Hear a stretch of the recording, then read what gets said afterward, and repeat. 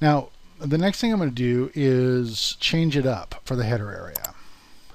So if we come back over here and grab this background image again, and then come over to the header area, background image,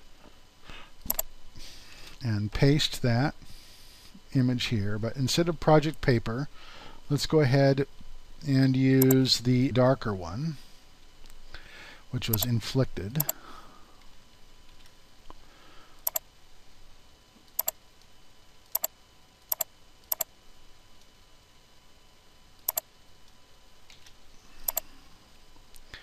And we need to make sure that it repeats in the X and the Y direction. Now we hit save.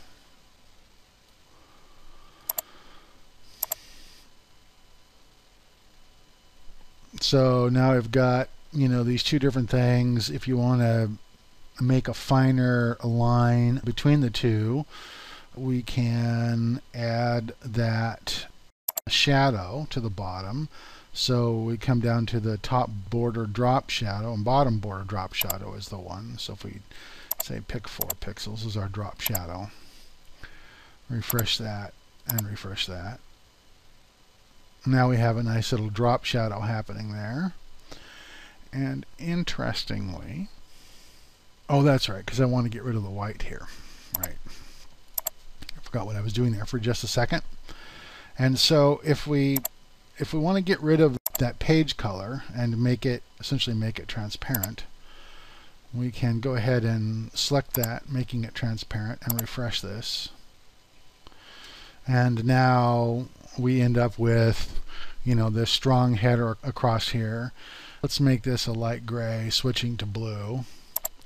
So come over to our design options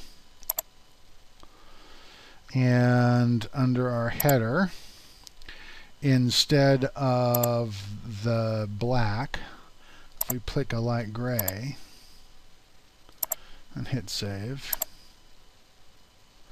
now we have a nice crisp look. And we can do the same thing with this footer widgets plugin, right? We could take that dark color and we could fill the blue with that dark color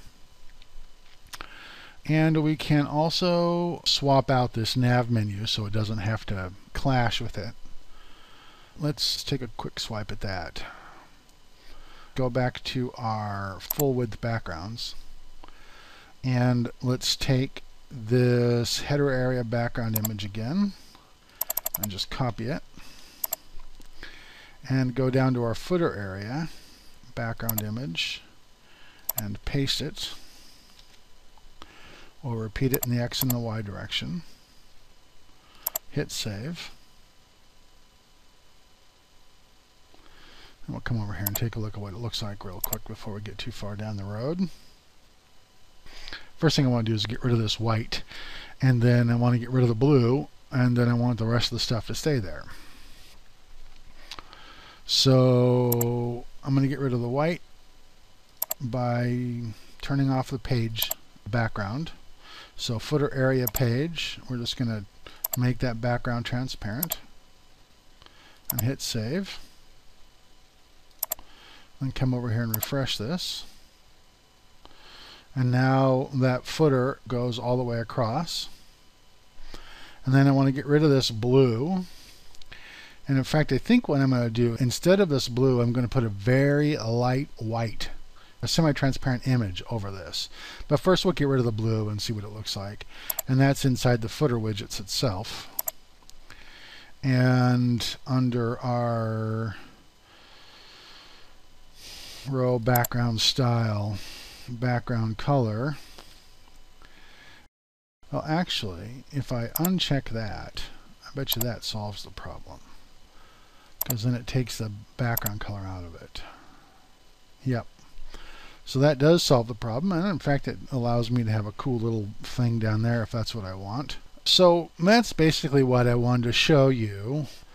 I just wanted to show you an example of using these, you know, cool patterns, and there are lots and lots and lots of different patterns in here. And just about anything you may want to do, I'm guessing you can find. Rubber grip. That's a little intense. And so you flip through these things and just select download, you get the image, and then you can come to the plugin and insert that image, and you can end up with some, you know, fairly cool effects.